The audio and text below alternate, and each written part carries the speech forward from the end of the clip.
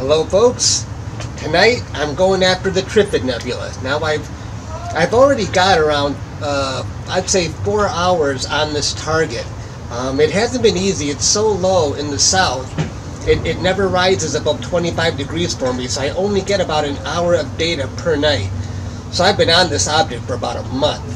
So I'm going to stop at around five hours and we'll see how it goes. So I've got my primary setup here, my CGX, my uh, ZWO camera, uh, MoonLite Focuser, ES 127mm scope, and I'm I'm ready to finish a Trifid, even though um, it looks like the moon is starting to get bright again. But you know what? I don't care.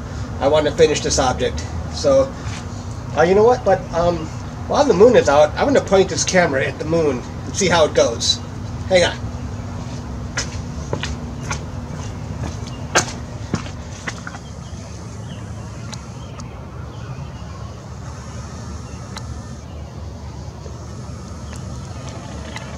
I have my camera on automatic and it has 83 optical zoom. It's pretty cool. The automatic focus. Oops, I'm losing it. Come on. I'm just on a manual tripod here. Not very steady. Come on, stay there. Well, let's see if I can get in any closer. Hey, that's pretty good. It's pretty cool looking. Any closer? No, that's about it. Okay, so I may actually finish this project tonight. I am working on the Trifid and currently capturing blue. Now I've already got a half hour of green and I'm halfway done with blue and then I'm going to try and finish off red and half hour of red. And so it if I add it all up, I think it's going to come to around uh, three hours or so of L-Pro data, and then a half hour each of RGB. I thought I was going to have closer to five hours, but it doesn't seem like that. But that's okay. This is a bright object, so I think uh, maybe four and a half hours is all I'll need. So I'm doing, let's see, right now 30 second exposures on blue. The gain and offset is 7515 now the mean readout is 1700. Normally, you know, just from experience, I like to have that mean readout um, for most objects for broadband in the 800 to 1200 range for 30 second exposures at gain 75. But um, uh, when you're pointing this slow, um, my my telescope never, the object itself never rises above 25 degrees in the south for me. It's, and, and it's in the face of light pollution and I think in the Milky Way itself is bringing back more signal. So I, I think I'll be fine with 1700. If it were narrowband, I'm, I'm more comfortable in the 600 to 800 range.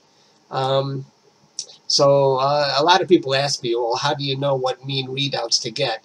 And uh, I just, uh, that's usually, uh, uh, it's just mostly from experience, but I'm going to flash something up on the screen here.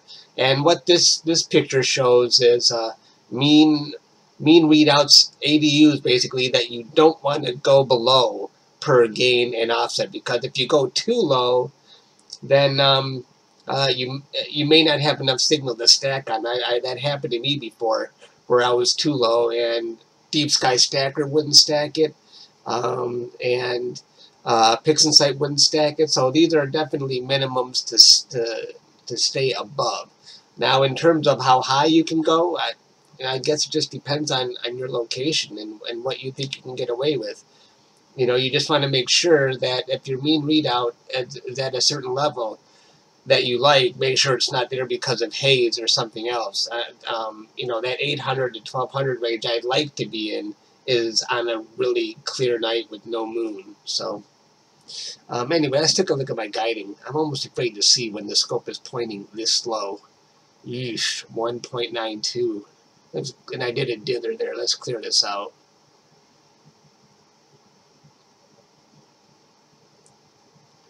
Yeah, like I said, it never rises above 25 degrees, so... Um,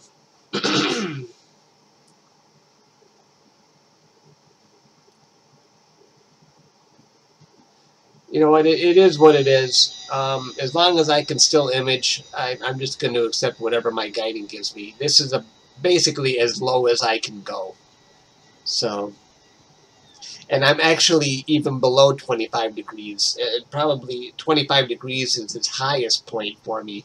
So, and it, it's not near that point yet. So, okay, well, anyway, I'll see what I end up with.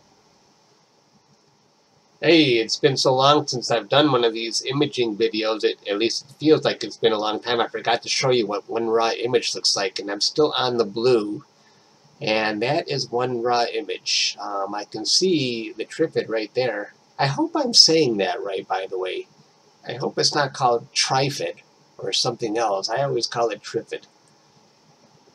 Another image just came. So that's what one raw image looks like. And I hope these stars aren't really going to be too bloated, but that's what usually seems to happen with my blue. Um, and the mean readout has dropped a little bit, so that I like to see. If it's rising a little bit, that's usually a sign that there's something going on in the sky, probably haze. So I think that's all I got, folks. Thanks for tuning in, and I will see you later.